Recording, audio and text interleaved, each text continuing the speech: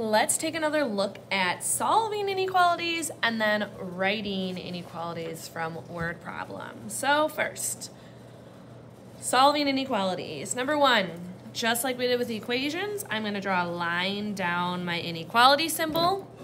I'm going to highlight my variable so I can easily see the side that it's on. On the side with the variable, the operation that's in the equation that I see is subtraction. We use opposite or inverse operation. So the opposite of subtraction is to add.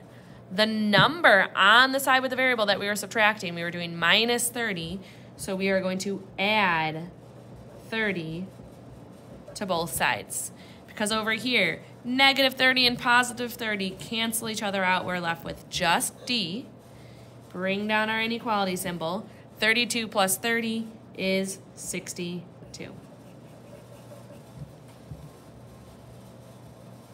Number two, putting my line down my inequality symbol, highlighting my variable.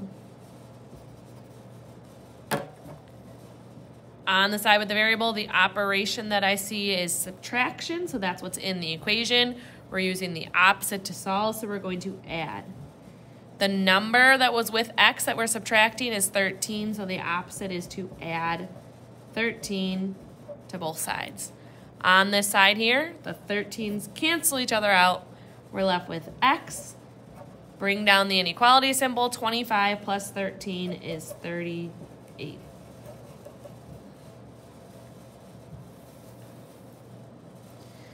Number three, put our line down that inequality symbol.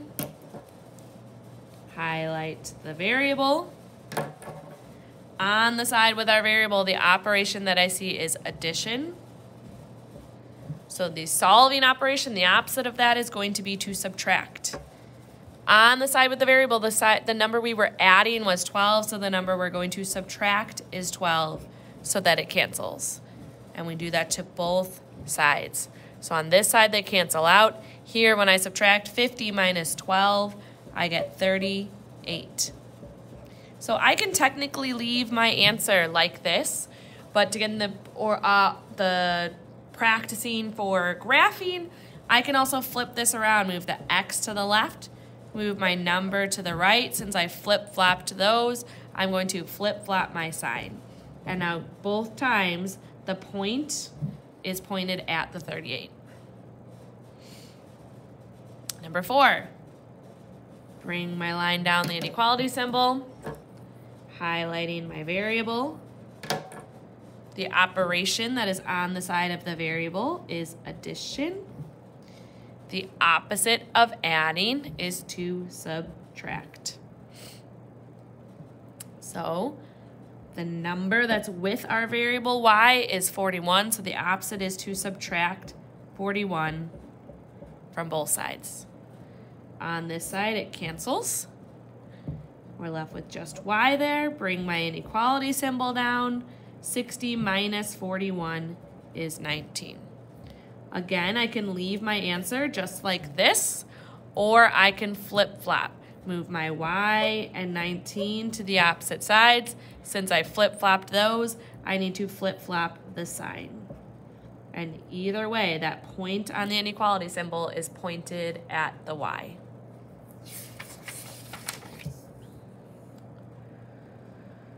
Okay, number five. Same thing, putting our line down the inequality symbol, highlighting our variable.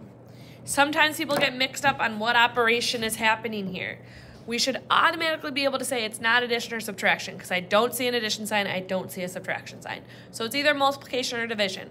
And then remembering, if it's multiplication, that's when a number is right next to a variable. So this is showing multiplication. So the opposite to solve is going to be to divide. Remember that we want to get kind of away from using the division symbol, so I'm going to use a fraction bar to show that I'm dividing. The number that's on the side with the variable is 4. x is being multiplied by 4, so the opposite is to divide both sides by 4. On this side, our 4's cancel each other out, so we're left with just x. Bring down our inequality symbol. 72 divided by 4 is 18. Just like the other ones, I can leave my answer like this, or I can flip it around. Flip my x to the left, my 18 to the right, and flip my sign. And to double check, my point is still at the 18. Number six, draw my line down my inequality symbol.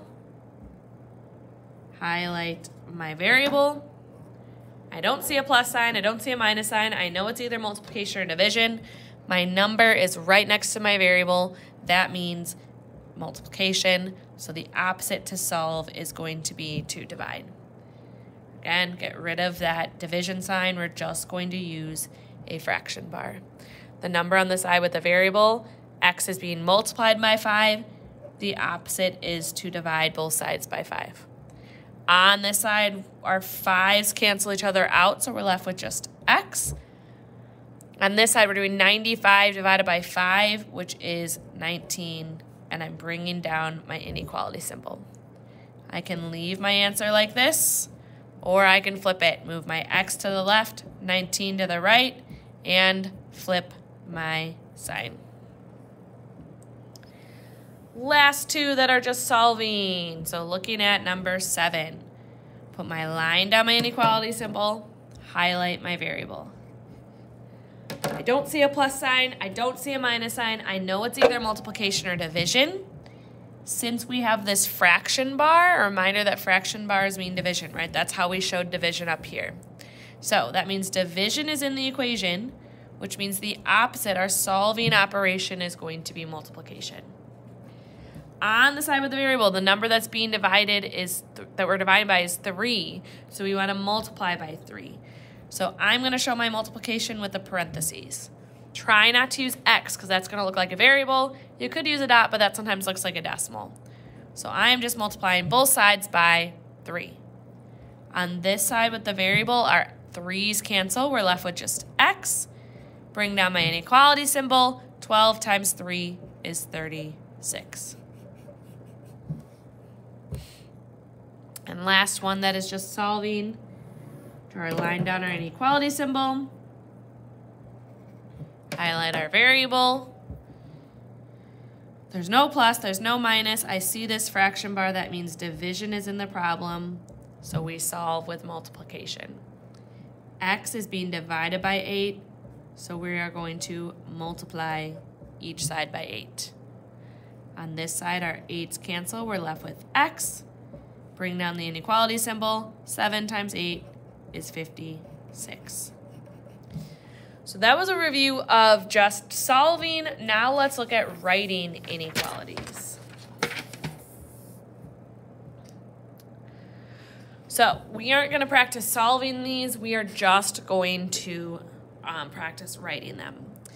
So Adam is renting a DJ for $18 per hour and wants to spend at most $270. So first off, I'm circling my numbers, okay?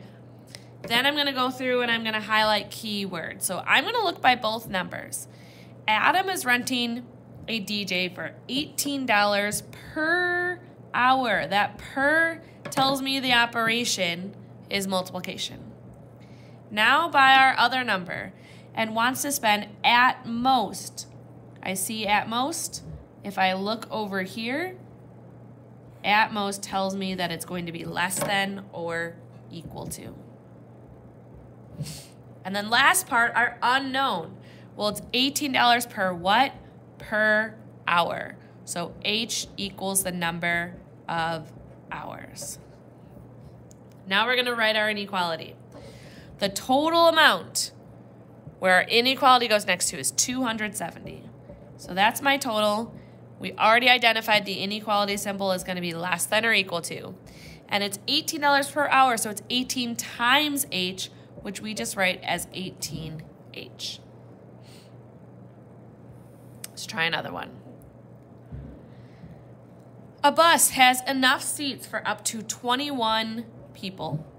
Right now, there are 12 people on the bus. How many more people can fit on the bus? So I circle my numbers. I'm to look at by those numbers to see the keywords. So by this one, a bus has enough seats for up to. And if I look over here, I see up to right here, which tells me the symbol is less than or equal to. The next one, right now, there are 12 people on the bus. Okay, I don't see a keyword yet, so I'm to keep reading. How many more people can fit on the bus? so, how many more tells me addition. And last part is our unknown. So, what are we talking about here? Right now, there are 12 people. Plus, the question says, how many more people? So, I'm going to use P equals number of people. Now, let's write our inequality. The total amount that the bus can fit is 21. So, I know that's what my inequality is going to be equal to. We already identified that the symbol is less than or equal to. And our operation is addition, so I'm going to take my variable of p plus our other number of 12.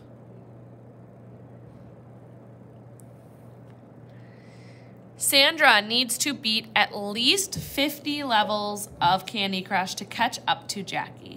If she already beat 33 levels, how many more does she have to beat? So looking at by our first word, Sandra needs to beat at least 50. So looking over here, at least, I see right here, which tells me the symbol is greater than or equal to. So look by the next one. Um, to catch up to Jackie, if she um, already beat 33 levels, how many more does she have to beat? So I see the keyword more, which tells me addition. And then last, what are we talking about? So she already beat 33 levels. How many more does she have to beat? So I'm going to say L equals number of levels. All right, the total amount that Sandra needs to beat is 50. So that's what I'm setting my inequality equal to. We already identified she wants it to be greater than or equal to that. And our operations addition, so I'm taking my variable of L plus the 33 she already beat needs to be greater than or equal to 50. And last one. Selena is selling bracelet, bracelets for $4 each. She wants to make at least $40. So let's look by each term, each number. Selena is selling bracelets for $4 each. Remember back to our equations unit. Each means multiplication. She wants to make at least $40. At least I see over here is greater than or equal to. And then what are we talking about? Well, she's selling bracelets for $4 each. So we're talking about bracelets. So I'm going to say B equals number of bracelets. So the total amount that we have is 40.